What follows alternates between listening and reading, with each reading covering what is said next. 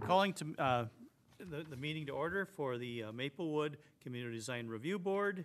Today is Tuesday, August fifteenth, twenty twenty-three. It is six o'clock. Um, we will start with the roll call. We have everyone here except for, um, uh, Amanda Reinhardt, but we do have a quorum, so we will proceed. Um, next item is approval of the agenda. Staff, any comments, corrections, et cetera? Chair and board, no amendments to the agenda as presented. Thank you. Anything from the board? No adjustments. Okay. Uh, Do I have a m- uh, a motion? I'll motion to approve the agenda for the uh, August 15th CDRB meeting. I'll second. Okay, we have a motion and a second. Any discussion? Hearing none, we'll take it to a vote. All those in favor signify by saying aye. Aye. That's unanimous. Next item is the approval of minutes from our last meeting, which is June twentieth. Staff, any corrections? Chair and board, no amendments to the minutes as presented. Okay, anything from the board? Any discussion? I would, um, uh, I would entertain a motion. I'll motion to approve the minutes of the June twentieth, twenty twenty-three CDRB meeting. Okay, we have a motion, and I'll second it. So we have a motion and a second. Any discussion? Hearing none, we will call this to a vote. All those in favor of approving the minutes uh, signify by saying aye. Aye. And uh, any nays? Nope. Okay, we will, we will um, continue. Um, Also, now we see um, Amanda Reinhardt is, is arrived. We now have um, the, the full body here. Um, you only missed the exciting stuff of uh, the approval of the minutes. So, next item is new business, design review, uh, the former Venburg Tire Building Addition, 3000 3001 Highway 61. Report, please, from staff. Thanks, Sharon board. Uh, As uh, just has come up on your screen, I have a few uh, slides to walk through the conversation here. Uh, So the former Venburg Tire Building, as the chair mentioned, at 3001 Highway 61 is now, and has been for uh, a few years by, is owned by Maplewood Toyota, and they are proposing a building addition. That addition would add a photo bay and two service bays. Uh, To move forward, they are requesting approval of a conditional use permit amendment, which the planning commission will, re- will review later this evening, and design review, which this group is being asked to take a look at. Uh, Again, the site is an existing car repair shop. Obviously, it used to be focused on tires. Uh, Now it's part of the Maplewood Toyota's operation. So it's for internal use only, so if a customer has vehicles being worked on or anything like that, it's, it's starting at the more centralized location of Maplewood Toyota. There's not people just coming to this site uh, as customers dropping off or picking up vehicles. The site is guided by the city's comprehensive plan as commercial, and it is zoned light manufacturing. In 2004, this site was approved for a conditional use permit and a setback variance for, again, the auto service function that occurs on the site. So the addition that's being looked at is a 2,400 square foot addition off the west side of the building. You can see the architectural site plan on the right side of the screen. This was included with your packet as well. Uh, The addition will extend 60 feet westward from the existing building uh, and from the previous setback variance. So on the previous slide, I mentioned that 2004 approval, that setback variance was also uh, for the existing building. There are residential uh, properties uh, that are indicated by the I guess, the orangish uh, color to the west of the site.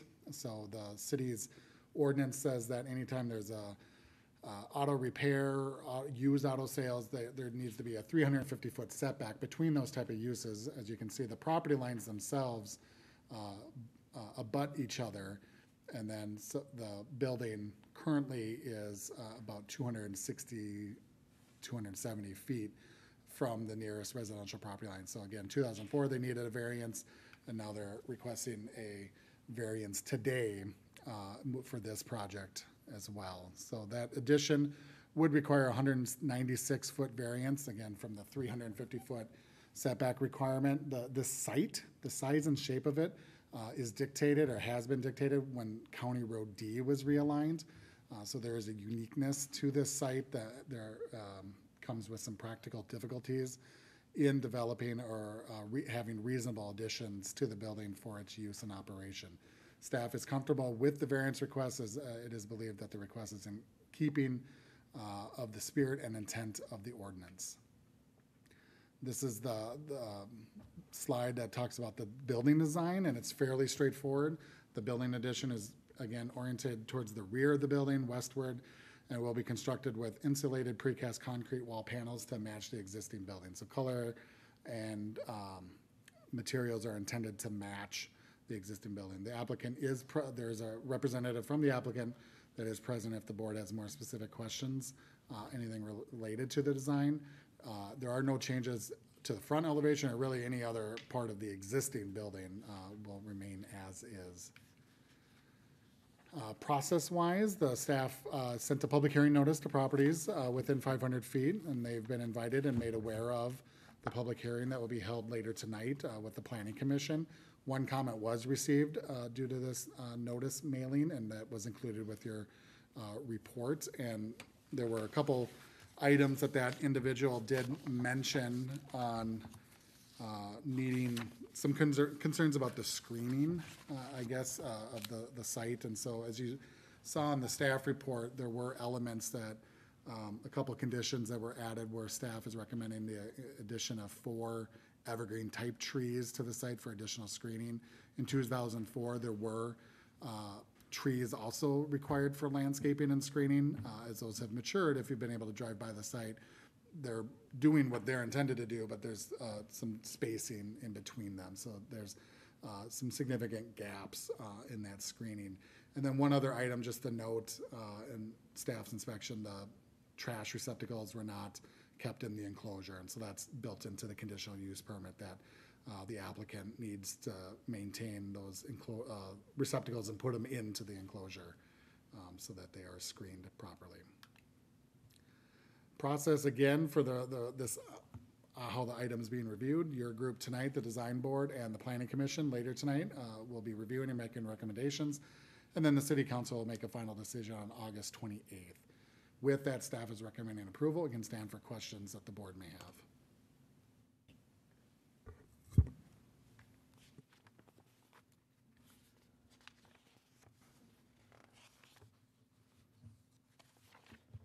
Well, thank you for including plans in our, in our. that Just for you. us. Pardon? Just for you. Just for me. Oh, nobody else got them? Chair and, uh, board, not to sidetrack, but from the, co- com- uh, Yeah, meeting that we had last, uh, Yeah. month, you were the one that indicated that you still wanted the, the physical plans. well, I do and- appreciate it. That's for your current term, and then we'll have to see where the, the council wants to go with it Okay. when anyone's re-upping. Yeah. How much is the traffic at D and uh, 61? As the engineer, is this going to increase the traffic? The vehicles turning uh, right, coming south on 61? Chair and Commission, the, the city engineer and Public Works Department did review uh, this proposal um, and did not indicate any concerns with traffic. Um, Again, this isn't a customer-based facility. Now, there would still be vehicles coming in uh, from the site. There is a service road uh, that goes in front of this building and what the parking lot that Toyota now owns where Golden's used to be. Um, So there is some internal drive capability that's occurring off of 61. But again, the engineer did not indicate uh, any concerns with um, traffic coming off the, the county road or the, from the highway. Okay, um, also, I noticed in, in the packet I got, it, I only have, uh, um, uh, like floor plans, I don't have any elevations. Chair and Commission, so that, that was included with your staff report. There Yeah. was not a standalone uh, building elevation. It was Okay. included as an attachment to the staff Okay. report. Um, all right. Uh, anything else for staff? Uh, I was not able to go to the site. Can you update me as to any roof-mounted mechanical equipment that the applicant is pro- proposing? Chair and Commission, there is roof-mounted equipment that's existing uh, on the building that, like I said, is already there. The applicant can speak more to if there's going to be additional uh, roof-mounted equipment. And currently, those, that equipment is not screened. It is not, no. Maybe the applicant can come forward. And uh, please sign in and um, state your name for the record.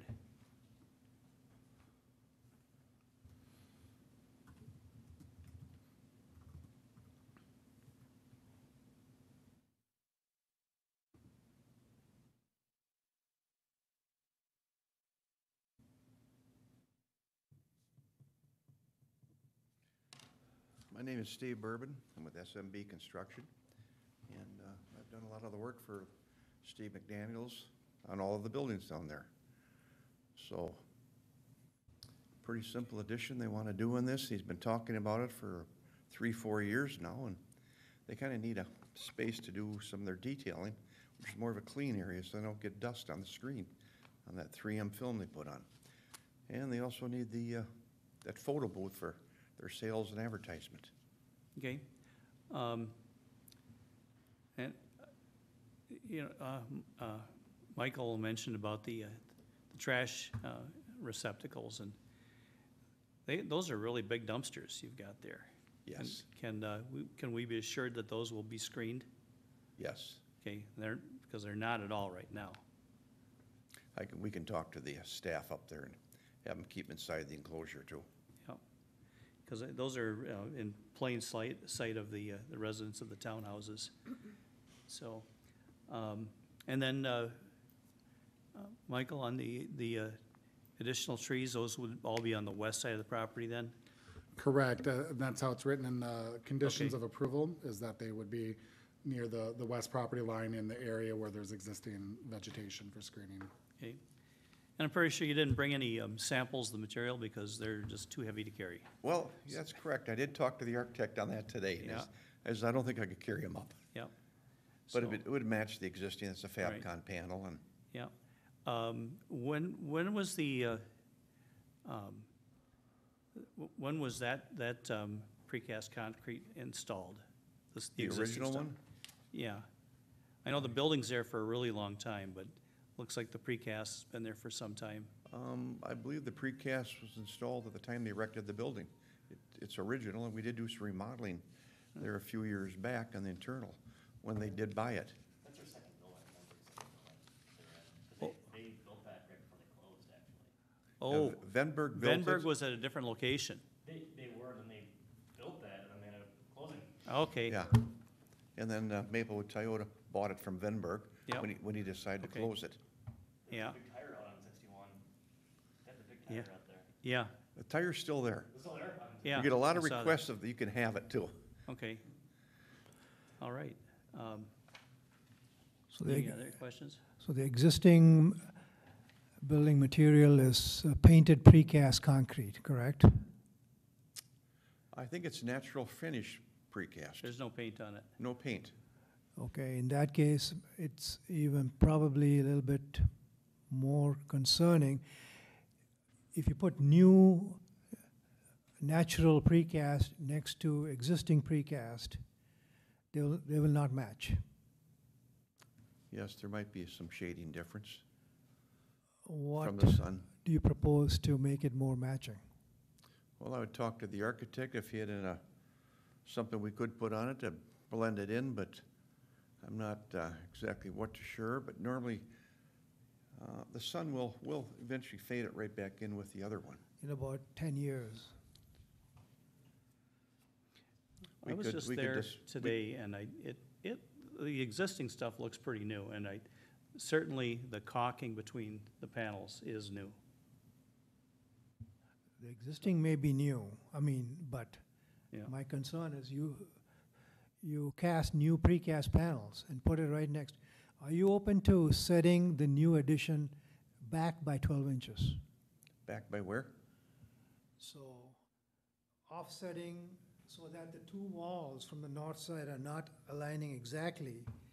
So you set the new, the new building back to the south by about twelve inches so that the existing building is, is to the north by twelve inches.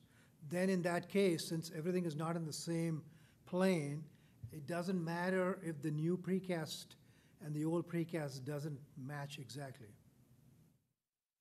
You see what I'm saying? Yes, you kind of, you want to, you want to put like a, a stagger right there Yeah. to create like a shadow line.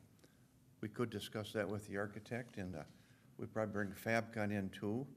And we may even ask them to do a sample panel where we could take a look to see how it would blend in.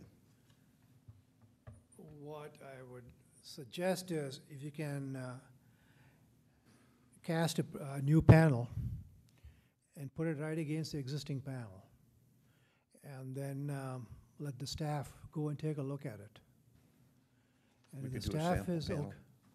and maybe one of us here. And if you are okay with that match, then you are okay to, to align the panels. You don't have to stagger it. But if that panel that you're gonna cast does not match, this is what I would recommend, that you s- step it back twelve inches. Okay, we could- we could look at that. If it's off that much, we could look at giving it a, uh, a light stained finish on the whole thing too, to blend it in. No, I like that, what you just said, I like that very much. Yeah. Yeah. Um, That side of the building is very visible to the retail that's directly a- across uh, County Road D from that. See that pretty visibly in that, particularly on that County Road D facing side. Um, Staff, and is there any parking um, concerns with, it it looks like there's five parking spaces that are impacted by this? Chair and Board, uh, yeah, there, there will be a, a loss of uh, four or five parking spaces. Uh, We, as we've done inspections over the course of this application review, uh, we haven't noticed um, a- any kind of parking uh, illegally, or, you know, the applicant will still be required to park in striped stalls, and there is a parking count that we believe is being met. The biggest takeaway is that directly s- um, south of the site is a parking lot that they own um, that they can utilize for storage of cars. Yeah, And you, you really don't have customers there. It's like, No, the no, customers they- all deal with the, the main dealership Yes. south of there, and then you need to do your thing, so you transport the, the vehicles up there and, Yeah, that's and correct. do it. Okay. So staff, as I look at the property to the south where the parking lot is, there's a little bit higher density than eight pine trees or con- uh, conifers. Um, Do you feel, the staff feel four is gonna be suitable or to, to provide the level of screening necessary? Chair and Commission, so, There's six-foot trees, so they're pretty sizable trees that were pro- in the proposal. yeah, and there's, um, you know, three or four trees that are existing uh, already there, so the four would complement what's there, and there's some deciduous trees as well um, that are, obviously don't provide the year-round screening, but if you're out there today, they provide some. Right, I'm screening Um, today. Yeah, so, yeah, we were cognizant of what was required for the parking lot to the south. Um, There's, you know, a little closer proximity to those homes as well. Um, So, yeah, we, we felt comfortable with the four number, but Okay. Any other questions?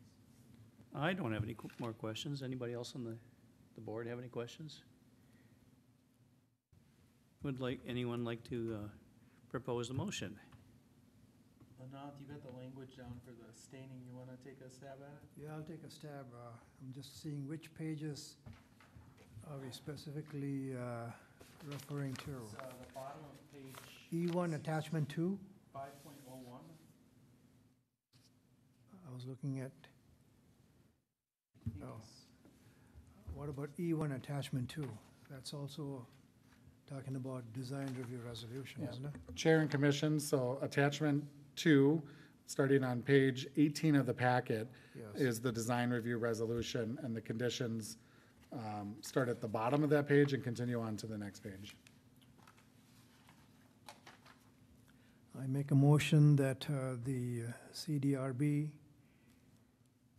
approve the addition for, uh, uh, on behalf of, um, for Maplewood Toyota at the intersection of 61 and County Road D for, for a 2,400 square feet addition, um, allowing for all the st- statements mentioned on page 18 and 19 of the staff report, but adding